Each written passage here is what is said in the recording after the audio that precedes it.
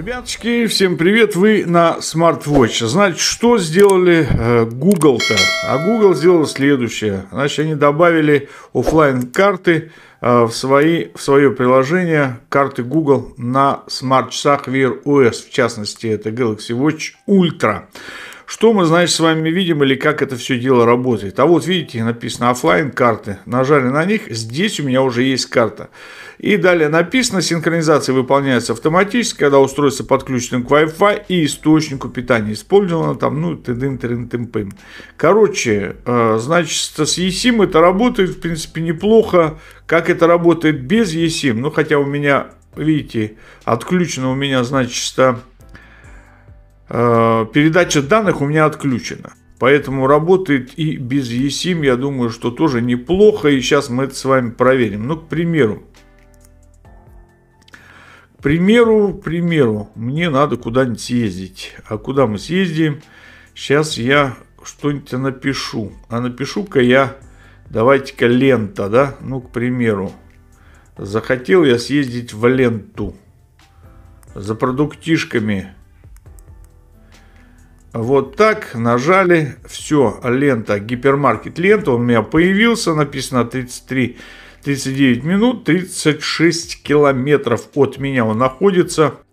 Здесь же, видите, у нас все-все есть. Дожали, допустим, автомобиль. Смотрим, что у нас сейчас произойдет. Так, все работает, как видите. Как я уже сказал, от интернета отключен, от смартфона отключен, связи абсолютно никакой нет. Все. офлайн карта. Вот таким вот макаром все это дело работает. В принципе, очень даже неплохо. Другими словами, я могу автономно двигаться э, с картой с этой э, где угодно без связи со смартфоном. Север показывает у нас, да, и все, погнали. Э, кстати, также можно будет, я понимаю, меточки ставить. Ну и так далее и тому подобное. Но все это только в рамках той карты офлайн, которую вы скачаете. Как это работает, значит? Во-первых, э, хочу сразу сказать, карты Google э, в данном случае это, по-моему, только работает в бета-версии. В бета-версии, сейчас я посмотрю как-то не отследил этот моментик. Да, а, ну вот опять у меня очередная бетка пришла. Что нового? Что-то новое у нас здесь появилось. Спасибо, что пользуетесь. Удобнее. Так, GPS-навигация в реальном времени, рекомендации, кафе, ресторан. Ну, это все понятно. У меня, короче, бетка. А, я участник бета-тестирования. И, насколько мне известно, сейчас пока это только в этом случае работает. Поэтому вы можете зарегистрироваться в бета-тестировании. Здесь это все делается легко. Ниже там пройдете. Здесь где-то написано будет.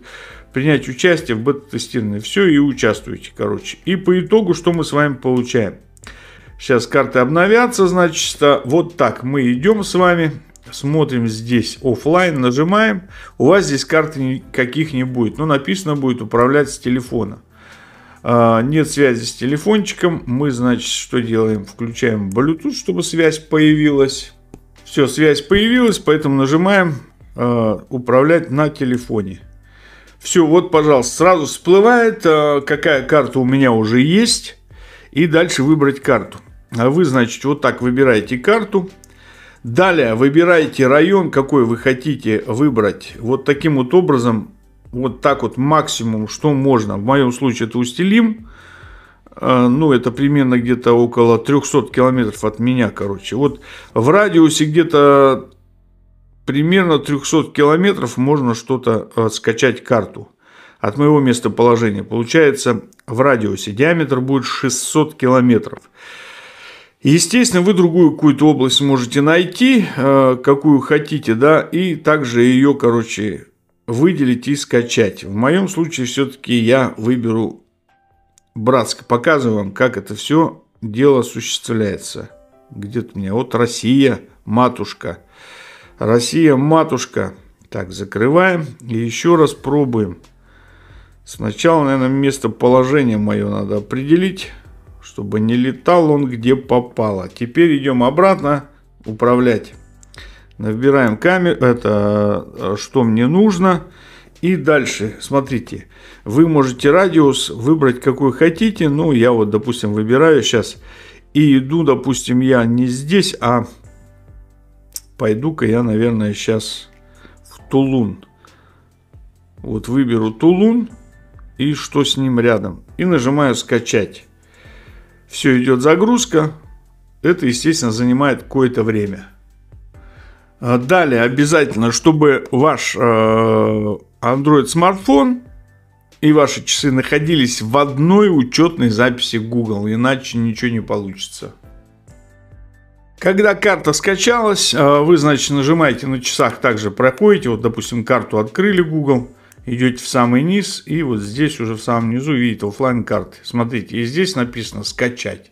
Она может автоматически скачаться, как здесь написано, либо вы ее можете нажать и скачать без Wi-Fi. Все, пошло дело. Если подключить к Wi-Fi, то еще быстрее все это дело как бы будет происходить. Все, весит она 141 мегабайт. Чтобы удалить какую-либо карту, нажали и вот удалить эту карту офлайн с часов. Все, вот так это все дело работает. Хороший, чтобы GPS-сигнал был, самое главное. Я так понимаю, я сейчас в квартире нахожусь, но тем не менее у меня часики быстро цепанулись и все работает. В этом плане хочу прям Google похвалить. Наконец-то они о людях стали думать, а не только о себе. Кстати, офлайн карты, если не знали, они на смартфоне работают. Прекрасно. Если что, качайте и действуйте. Ну, все, вот такая вот простецкая инструкция. Вы были на SmartWatch. Не забывайте, кстати, телеграм-канальчики, которые есть. Там и новостишек много всевозможных у меня всегда в новостях. Ну, а здесь в чате вы можете задать вопросик и оперативно получить ответ. Пока.